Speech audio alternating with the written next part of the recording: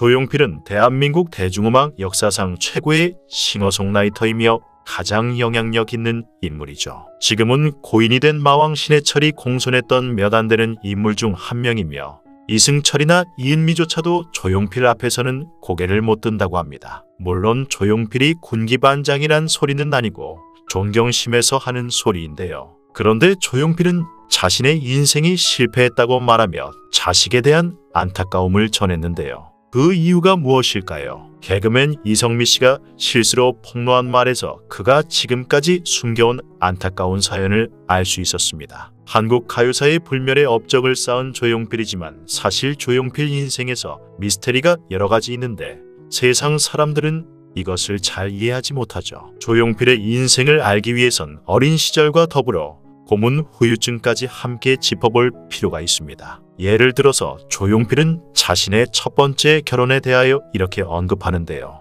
1984년 3월 결혼식 때 자신은 그게 결혼식인 줄도 모르고 결혼식장에 갔었다고 합니다. 당시 조용필의 첫 번째 결혼식은 경기도 남양주의 봉선사에서 거행된 비밀 결혼식이었죠. 기자들 몇 명 보는 앞에서 신부가 면사포도 쓰지 않고 후다닥 치룬 결혼식이었기에 많은 사람들이 의아했습니다. 당시 조용필의 아내 박지숙의 아버지는 전 신민당 삼선 국회의원 박찬이었습니다. 정계의 실력자이자 경제계 및 교육계에 큰 영향력을 가진 거물이었죠. 이런 배경이기 때문에 일각에서는 조용필이 정치권의 강압에 의하여 박지숙과 결혼했다. 혹은 조용필이 대마초 파동을 겪고 탄압을 피하기 위하여 일부러 권력자의 딸과 결혼했다 등의 루머가 횡행하기도 했는데요. 하지만 실상은 전혀 달랐죠. 조용필은 키가 작고 수줍음을 잘 타 어릴 적부터 여자들의 눈길을 별로 끌지 못했고 스무 살이 넘도록 사랑의 아픔을 느껴본 적이 없었는데 사랑은 예고도 없이 갑자기 찾아왔다고 합니다. 조용필은 1976년 조용필과 그림자를 결성해 밤무대를 누비던 시절에 그녀를 만났는데 당시 그녀는 단발머리 여대생이었고 자신은 운명처럼 사랑에 빠져들었다고 하죠. 하지만 딴따라와의 연애에 발끈한 박지숙 집안 사람들의 끈질긴 반대와 대마초 파동에도 불구하고 그녀는 암울했던 시절 조용필의 유일한 안식처가 되어 주었습니다. 하지만 조용필은 오랜 무명 시절에 인기를 얻게 되자 그녀의 존재를 잊어버리곤 했고 대중들의 관심과 노래에 대한 집착이 사랑마저 부담스럽게 느껴졌죠. 결국 조용필은 박지숙과 약혼 4년 만에 몇 차례 결혼식을 번복하다가 1984년 산사에서 비밀 결혼식을 올리게 됩니다. 당시의 결혼식인지도 모르고 갔다는 조용필의 증언으로 미루어 보아 아마 박지숙의 강력한 요청에 의하여 만들어진 결혼식이었던 것 같은데요. 이런 결혼이었기 때문이었을까요? 이 둘의 신혼 생활은 별로 행복하지 못했습니다. 결혼 이튿날 조용필은 신혼여행도 없이 프랑스 문화성에 초청을 받아 혼자 프랑스 파리로 출국하면서 사람들의 구설수에 오르기 시작했고 이런 이상한 행동들은 그의 첫 번째 결혼 기간 내내 계속되었죠. 신혼 초부터 시작된 해외 공연과 잇따른 방송 출연, 레코딩 작업으로 조용필은 바깥으로 나돌았고 잇따른 연예인들과의 스캔들로 박지숙은 극도로 신경이 예민해지는데요. 게다가 그녀를 가장 힘들게 만든 것은 조용필이었습니다. 집에 돌아오면 별말 없이 밥 한술 뜨고 연습실에 처박혀 밤을 새우곤 했는데 이런 행동들이 그녀를 미치도록 외롭게 만들었죠. 그러다 결혼 생활 중이던 1986년 3월 박지숙은 극단적인 선택을 하고 맙니다. 박지숙은 서울 용산구 동부이촌동 강변도로에서 극약을 마시고 승용차에 쓰려져 신음 중인 것을 지나가던 택시 운전사가 발견,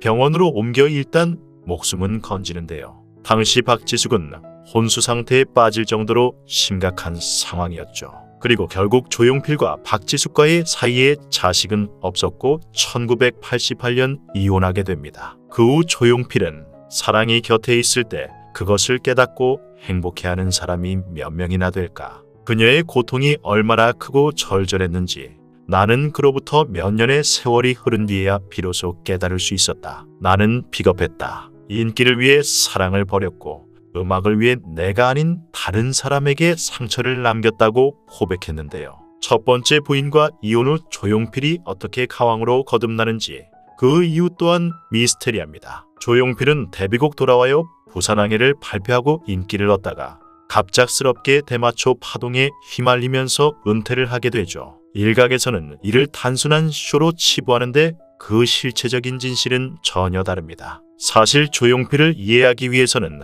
오늘날의 시각으로 그를 바라보면 안 됩니다. 당시의 시대상과 더불어 조용필의 성격과 어린 시절 개인사를 완전히 이해할 필요가 있는데요. 조용필은 경기 화성에서 염전업을 하던 집안의 칠남매 중 막내 아들로 태어났습니다. 아버지는 4대 독자로 고향 유지였던 할아버지의 재산을 고스란히 물려받아서 화성 최고의 부자였죠. 아버지는 큰형을 데리고 사냥 나가는 것을 좋아하셨는데 성격이 너무 완고하고 허니적이어서 자신과는 잘 맞지 않았다고 합니다. 아버지가 사냥을 나가면 조용필은 따라 나가지 않고 하모니카를 불고 기타를 치며 방 안에서 뒹굴었는데 그런 조용필을 보며 아버지는 못난 놈이라며 혀를 찼죠.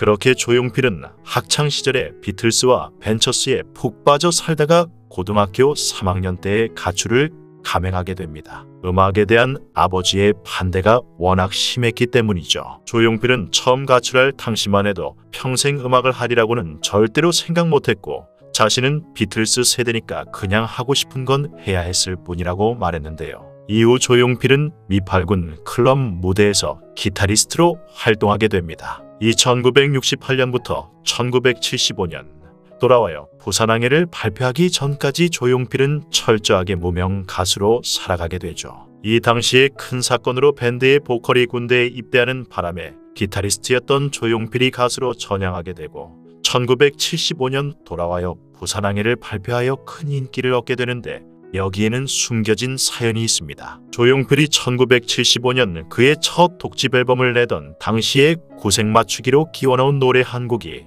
대한민국 전역을 휩쓴 기이한 일이 벌어진 것인데요. 바로 돌아와요 부산항해였는데 당시까지 로커로 자부하고 있던 그는 트로트 한 곡으로 졸지의 스타가 된 것이었죠. 사실 당시 부산은 제1교포들의 고향 방문단이 대대적으로 입국하던 장소였고 이런 시대적인 상황 속에서 돌아와요 부산항해가 큰 인기를 끌게 된 것인데요. 하지만 불과 8, 9개월 후에 조용필은 대마초 파동에 휩쓸리게 됩니다. 그는 1975년 겨울 저녁 무대 한 타임을 끝내고 나오다 사복 경찰들에게 끌려갑니다. 도착한 곳은 남산 마약반이었는데 거기서 무조건 마약쟁이 10명씩 불어야 했습니다. 주전자 고문도 치가 떨리지만 더 가혹했던 것은 붙들려 가자마자 한 사람이 간신히 들어갈 수 있는 벽돌 사이로 밀어넣고는 무시무시한 강목으로 사정없이 찔러댔던 고문이었다고 합니다. 조용필은 거기에는 인간이 없었고 그렇게 당한 많은 음악인들이 좌절했고 한대수, 이장의 같은 사람은 아예 이 땅을 떠났다고 회상했는데요. 그렇다면 조용필이 정말로 죄를 지은 걸까요? 당시 흔하게 유통되던 대마초는 불법이 아니었을 뿐만 아니라 그나마도 조용필이 대마초를 피운 건 파동이 일어나기 훨씬 전의 일이었다고 합니다. 결국 조용필은 대마초 가수라는 공격을 받게 되고 1977년 자의반 타의반 은퇴하게 됩니다. 조용필은 견딜 수가 없었고 5월 4일 장충체육관에서 은퇴쇼를 가진 그날 밤 밤새 술을 퍼마시면서 울었습니다. 이 정도라면 고문 후유증으로 스스로 방송 생활을 접었다고 볼 수 있겠는데요. 사실 당시 대마초는 입법 미비로 명백한 불법이 아니었지만 박정희 독재 정권은 자유분방한 예술인들을 길들이기 위하여 무자비하게 탄압을 했죠. 그런데 대마초 파동으로 가수의 길이 끊긴 조용필은 어떻게 했을까요? 시리에 빠져서 모든 것을 포기했을까요? 조용필은 전혀 다른 행동을 합니다. 오히려 음악에 더 깊숙이 빠져들었죠. 이때 조용필은 한오백년을 비롯한 우리 창을 만나게 되고 판소리를 접목한 그의 창법으로 당시까지 미성이었던 그의 목소리가 탁성으로 바뀌게 되는데요. 위기의 순간에 오히려 한 단계 더 발전하게 된 것이죠.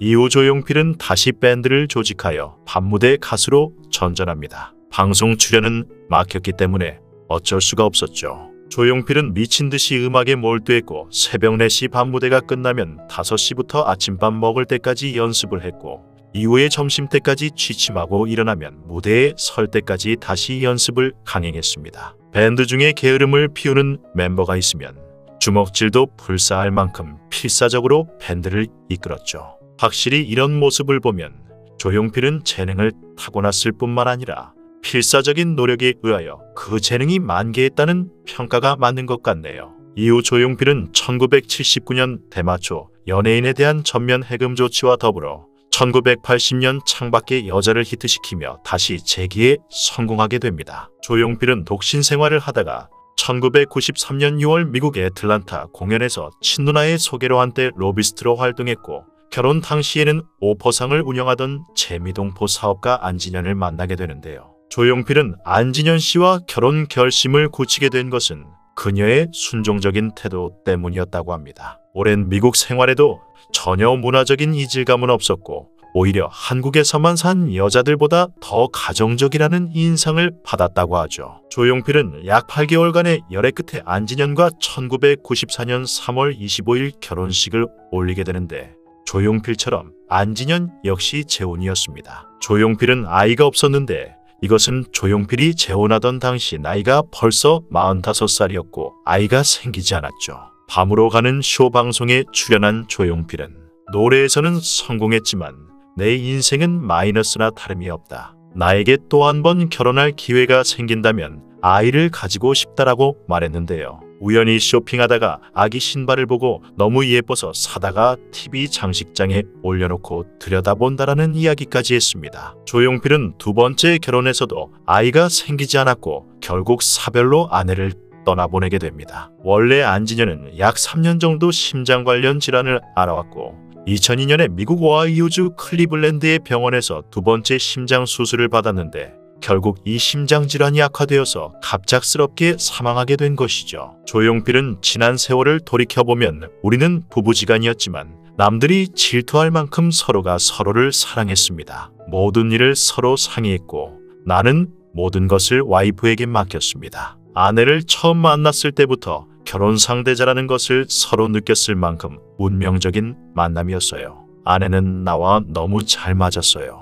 내겐 아내 이상의 존재였고요라며 먼저 떠난 아내를 그리워했습니다. 2022년 11월 조용필은 4년 만에 콘서트로 돌아왔습니다. 팬데믹 이후 처음으로 열리는 조용필 단독 콘서트인 만큼 공연은 일찌감치 전성 매진되었죠. 또한 9년 만에 신곡도 선보인다고 하는데요. 아직까지도 끊임없이 변화, 혁신을 추구하는 더 나은 차원으로 가려는 뮤지션으로서의 순수한 갈망이 엿보입니다. 그의 삶이 곧 음악이고 음악이 곧 조용필의 삶 그 자체라 할 수 있는데요. 그냥 한마디로 조용필은 한평생 음악에 미쳐있는 음악 중독자고 음악을 진정성 있게 대하는 뮤지션이었죠. 내년 말에 20집 정규 앨범을 발매한다고 하는데 조용필 씨의 활발한 활동을 응원하겠습니다. 지금까지 시청해 주셔서 감사합니다.